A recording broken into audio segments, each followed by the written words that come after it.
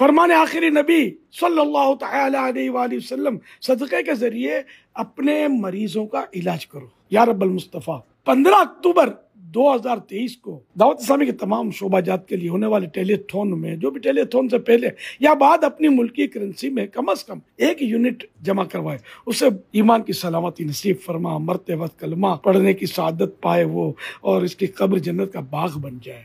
या रब्बल इज़्ज़त, वो बेसाब जन्नत में दाखिल हो जाए। और जो ज़्यादा यूनिट जमा करवाए मालिक करीम उस पर और भी रहमतों का नजूल हो। और साथ ही साथ जन्नतुल फिरदौस में उसे अपने प्यारे हबीब आखिरी नबी सल्लल्लाहु अलैहि वसल्लम पड़ोसी बनना नसीब हो जाए।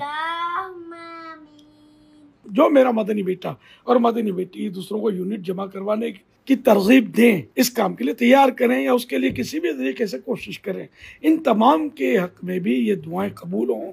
और मुझ गुनागारों के सरदार के हक में भी ये दुआएँ कबूल फरमा। आमीन। बिजाहि खातमिन नबिय्यि सल्लल्लाहु अलैहि वसल्लम। सल्लु अलल हबीब सल्लल्लाहु अलैहि मुहम्मद